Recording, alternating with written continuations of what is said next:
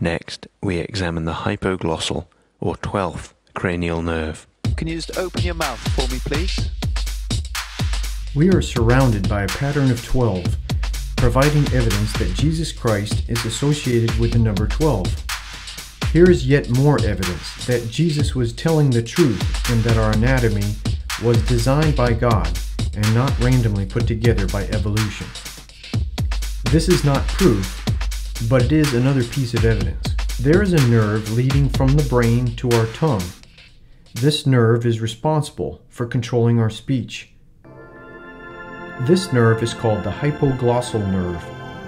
It is the 12th cranial nerve. This nerve controls all tongue movements.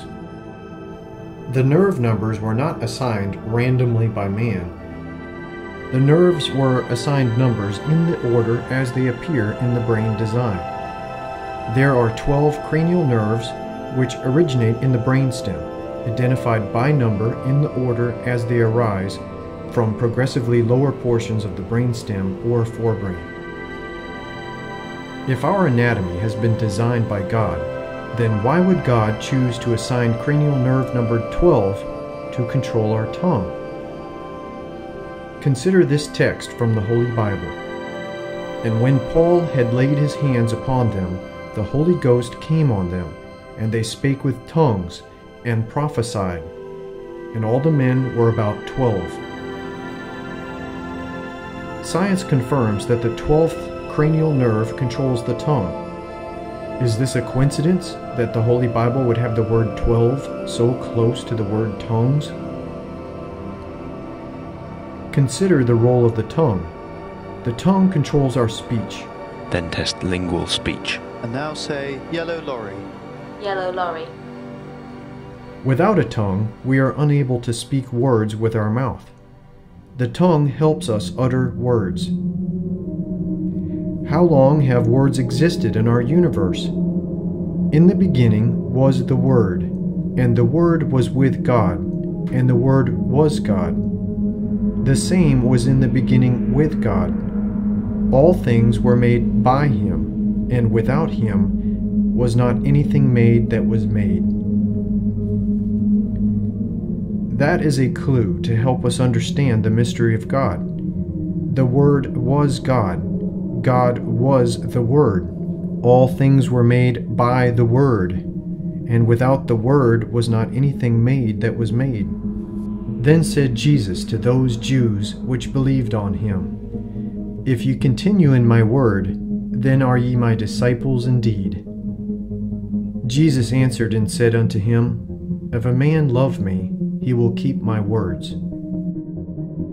The word which God sent unto the children of Israel, preaching peace by Jesus Christ. Jesus said, He that hath seen me hath seen the Father. Using logic, if God is the Word, then Jesus is the Word in the flesh. Did you know that we are all words in the flesh? Our bodies are formed by words.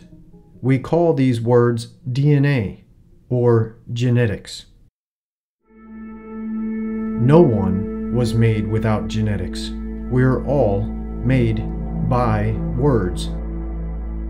The difference between our words and Jesus' words is that we are imperfect and Jesus is perfect.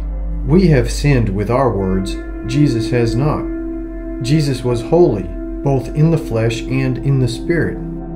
For that which is conceived in her is of the Holy Ghost. Matthew 1 20. There's another 12. His physical word, his DNA, must be holy and his spiritual word, the Holy Bible, must be holy.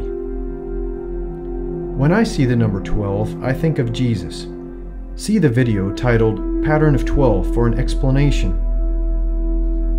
These go together Jesus, Word, Tongue, and the number 12. So if Jesus is the Holy Word in the flesh, and words are spoken with the tongue, it makes sense that the tongue is controlled by cranial nerve number 12.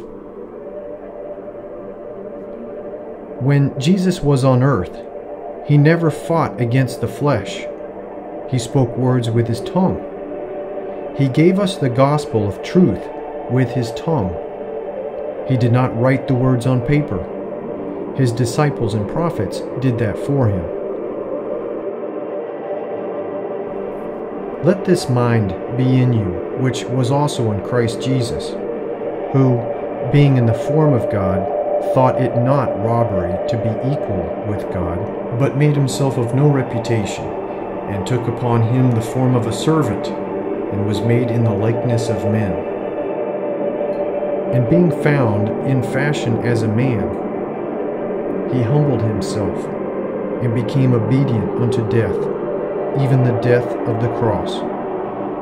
Wherefore God also hath highly exalted him, and given him a name which is above every name, that at the name of Jesus every knee should bow, of things in heaven, and things in earth, and things under the earth, and that every tongue should confess that Jesus Christ is Lord, to the glory of God the Father. The tongue is controlled by cranial nerve number 12. When you see 12, think of Jesus